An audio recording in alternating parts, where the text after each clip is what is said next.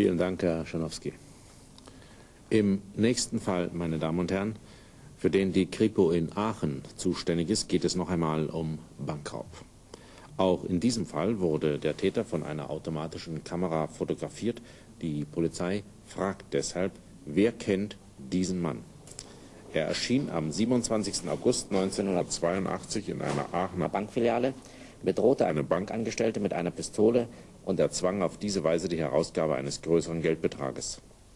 Der Täter ist etwa 25 Jahre alt, 1,70 groß, nicht zuletzt durch die hellblonden Haare dürfte er eine recht auffällige Erscheinung sein. Für Hinweise, die zur Identifizierung und Festnahme des Gesuchten führen, ist eine Belohnung von 1000 Mark ausgesetzt. Zuständig ist die Kripo in Aachen. Und nun bittet die Kripo in Ludwigshafen um Ihre Aufmerksamkeit. Es geht um dieses Etui mit einem einmaligen, sehr kostbaren Inhalt, einen sogenannten Markierring. Das ist eine auffällige, goldene, mit Brillanten besetzte Ringfassung, in die man 18 verschiedene Schmucksteine einsetzen kann unter anderem einen sehr wertvollen Brillanten, eine sehr große Perle oder einen leuchtenden Rubin. Der Ring und die dazugehörenden Schmucksteine sind von der Polizei bei einer Kontrolle in Ludwigshafen sichergestellt worden. Sie wurden mit großer Wahrscheinlichkeit irgendwo gestohlen. Bis heute ließ sich jedoch nicht feststellen, wo. Die Ringfassung ist einmal durch eine innen eingelötete Schiene verkleinert worden. Hinweise über die Herkunft des Ringes auch großen, der auch einen großen historischen Wert hat, bitte an die Kripo in Ludwigshafen. Im nächsten Fall geht es gleich noch einmal um Schmuckstücke, allerdings nicht um historische, sondern um moderne. Die Kripo in Mannheim bearbeitet seit einigen Monaten zwei vielleicht zusammengehörende Einbrüche in Juweliergeschäfte, bei denen die Täter Schmuck im Wert von nahezu einer Million Mark erbeutet haben. Der erste Einbruch gilt der in Mannheim gut eingeführten Uhren- und Schmuckwarenfirma Birkle und Sieg. Das Geschäft liegt im Kernbereich der Innenstadt in der Fußgängerzone an den Planken. Samstag, der 20. März 1982, ist für Herrn Birkle, der selbst den Laden bedient, ein Samstag wie jeder andere. Er bringt wie gewöhnlich einen soliden Umsatz.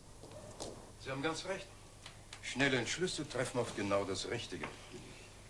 Das ist wirklich ein sehr schönes Stück, das Sie da ausgewählt haben. Ja, ich glaube schon, dass es ankommt.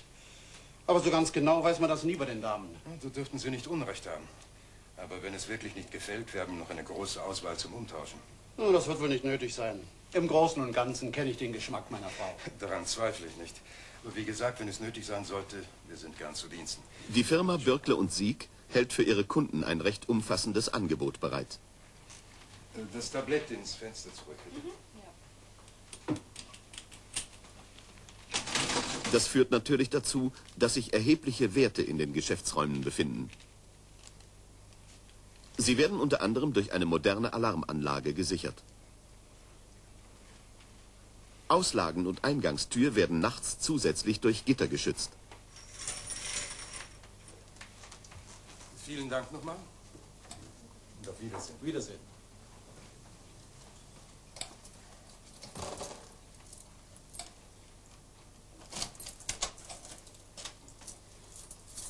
So, meine Damen, Schluss für heute. Neben dem Juwelier befindet sich ein Restaurant, das im März 1982 wegen Umbauarbeiten geschlossen ist. Ein Umstand, der mit dem späteren Geschehen im Juweliergeschäft in einem rätselhaften Zusammenhang stehen wird.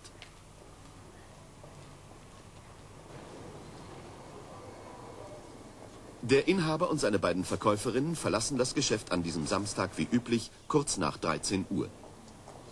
Also bis Montag dann. Ein schönes Wochenende. Genau. Wiederschauen.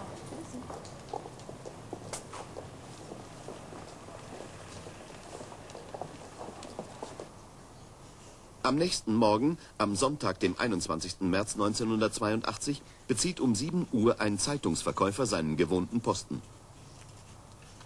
Sein Verkaufsplatz liegt etwa 200 Meter vom Laden der Schmuckwarenfirma Birkle und Sieg entfernt.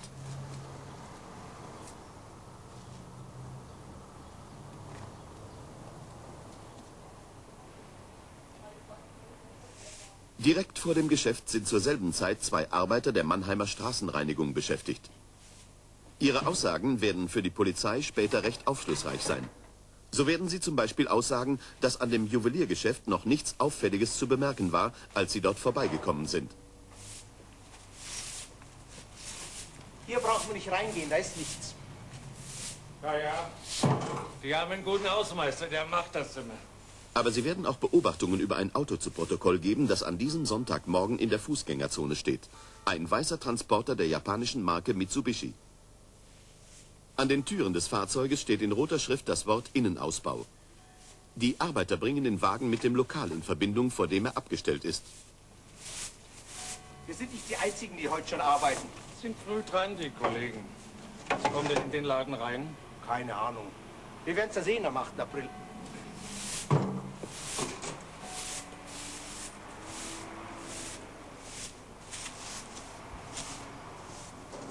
Die Straßenreiniger sind an dem Juweliergeschäft schon vorbei, als sich die automatischen Rollgitter in Bewegung setzen. Eine Schaltuhr sorgt dafür, dass sie nachts um 23 Uhr heruntergelassen und um 7 Uhr morgens wieder hochgezogen werden. Auf diesen Augenblick müssen vermutlich zwei Einbrecher irgendwo in der Nähe gewartet haben. Sie interessieren sich nicht sofort für das Geschäft, sondern brechen zunächst die Haustür auf, die ins Treppenhaus führt. Diese Aktion dient offensichtlich nur der Sicherung des Fluchtweges. Denn vom ersten Stock des Treppenhauses führt ein Notausgang auf das Flachdach eines angrenzenden Hauses und von dort über mehrere Höfe zu den nächsten Straßen. Los, komm!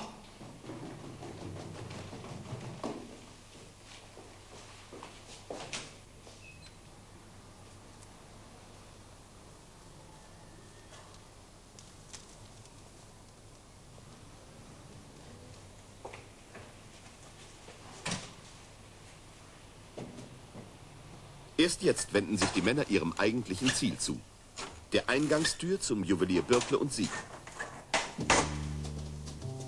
Dabei nehmen die Einbrecher zweifellos in Kauf, dass sie die Alarmanlage des Geschäftes auslösen. Der Alarm läuft direkt bei der Einsatzzentrale der Mannheimer Polizei auf. Achtung, an alle Wagen in der Innenstadt. Alarmauslösung bei der Firma Bürkle und Sieg. P3, Hausnummer 11 bis 13. Das ist ein Juwelierladen an den Planken. Ich wiederhole. Alarmauslösung bei der Firma Bürkle und Sieg. P3, Hausnummer 11 bis 13. Juweliergeschäft. Mensch, das ist doch hier gleich um die Ecke. Ich weiß, in der Fußgängerzone. Die angesprochenen Beamten in den Funkstreifenwagen reagieren schnell. Mehrere Fahrzeuge fahren gleichzeitig den Tatort an.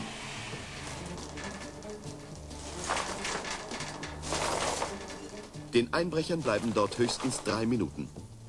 Aber es gelingt ihnen in dieser kurzen Zeit, Schmuck im Wert von nahezu einer halben Million Mark zusammenzuraffen.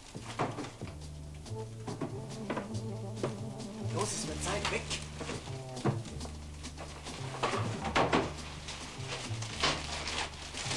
Bei ihrer Flucht lassen sie dann einen Teil der Ausrüstung zurück.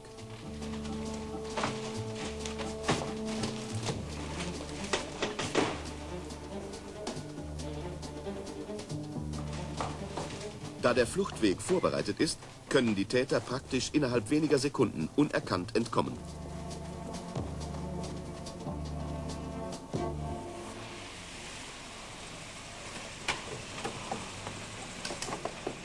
Die Besatzung des ersten Streifenwagens, der am Tatort ankommt, muss jedoch annehmen, dass sich die Einbrecher noch im Laden aufhalten. Die sind noch drin.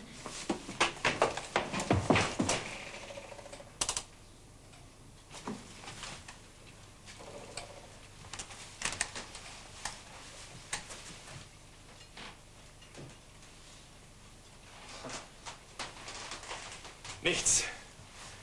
Die sind schon weg. Verdammt. Na, aber weit können die noch nicht sein. Ja, komisch, wir hätten sie doch eigentlich sehen müssen. Tja.